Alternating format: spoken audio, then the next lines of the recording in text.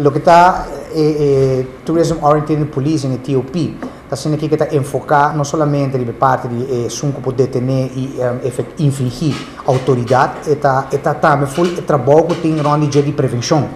No caso, aqui está pensei avisa na 2010, 2015 está stop o projeto, ou está stop a tarefa de visibility team de forma que estava a funcionar, então está vai cair grandemente de boa de responsabilidade do corpo policial, via e entregadores não agora tomar o tempo e de serviço.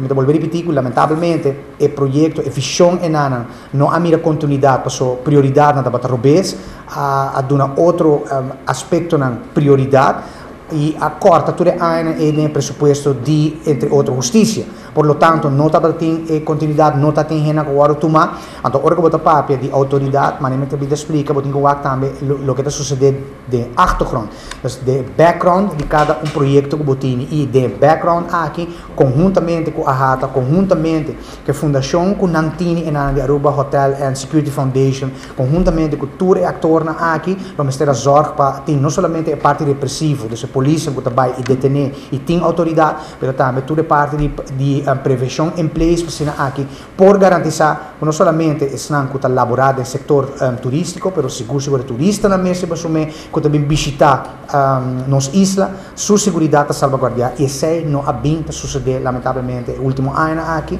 um dia mais motivo de prioridade na Rubens.